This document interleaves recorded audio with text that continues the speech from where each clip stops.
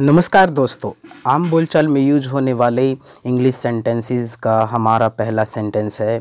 हमारा व्यवहार कई बार हमारे ज्ञान से अधिक अच्छा साबित होता है। Our behaviour often proves to be greater than our knowledge our behaviour often proves to be greater than our knowledge मेरी कमर तोड़ोगे क्या? Will you break my waist will you break my waist ओहो, क्या कर रहे हो? ओह what are you doing oh what are you doing तुम रो क्यों रहे हो? Why are you crying why are you crying मैं उसे देख भी नहीं सकी। I couldn't even see her I couldn't even see her क्या तुम मेरे साथ आ रहे हो? Are you coming with me are you coming with me मैं तुम्हें ये सब काम करने के लिए घर नहीं लाई। I didn't bring you home to do all this work I didn't bring you home to do all this work मैं तुम्हें और ज़्यादा सहन नहीं कर सकती। I can't tolerate you any more I can't tolerate you any more क्या तुम्हें कुछ चाहिए? Do you want something do you want something मेरे पास इन सब चीज़ों के लिए समय नहीं है। I don't have time for all these things I don't have time for all these things उसे बिगाड़ोगे क्या?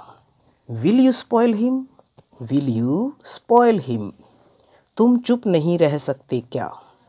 Can't you keep quiet can't you keep quiet उसके पास ऐसा कुछ नहीं है।